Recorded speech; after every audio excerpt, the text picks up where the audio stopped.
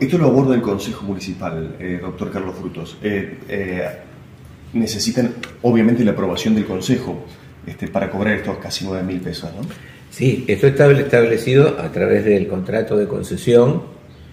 En uno de esos artículos determina la necesidad previa de organizar una audiencia pública con no carácter no vinculante, pero sí informativo para que la población conozca qué es lo que acontece, por qué se pide el aumento y demás.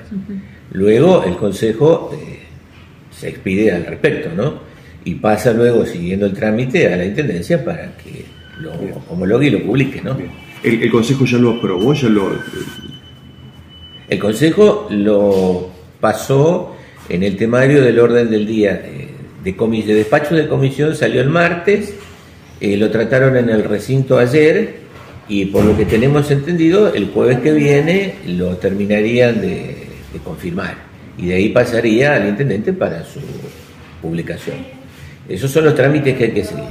Lo que yo quiero aclarar es que la cuestión tarifaria se maneja de este modo.